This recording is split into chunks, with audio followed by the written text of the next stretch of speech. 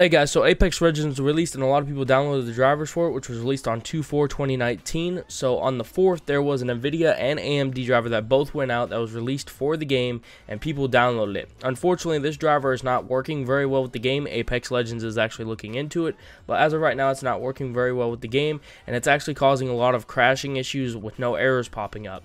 What you got to do, I'll show you how to fix it. Um, go ahead and click the top link in the description, which will link you to this NVIDIA driver, which is January's, which is last month's uh, driver as of the time of this video. You need to download that and install that again. Uh, that driver seems to be working at the game. It only seems to be uh, the 4th uh, February drivers, the most recent drivers, which I believe is like 18 something, 418.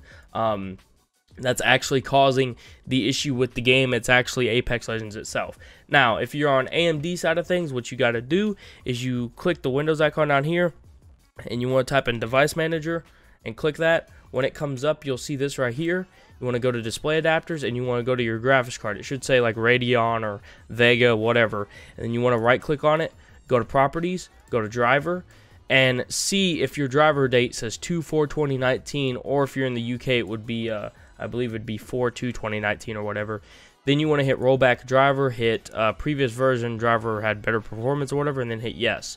Once you do this and once you install uh, this driver if you're NVIDIA or you do it that way if you're AMD, you need to hard reset your computer. So you need to click the Windows icon and then hit shutdown. Don't hit restart, hit shutdown then come back up and then try to play the game. Uh, this fixed the issue for me and five other friends that I know. Um, if it doesn't fix your issue, I'm terribly sorry. You'll have to wait for them to bring out a patch to fix the game. Uh, but if this did help with your issue, go ahead and hit the like button so more people know. That's it, and I'll see you guys next time.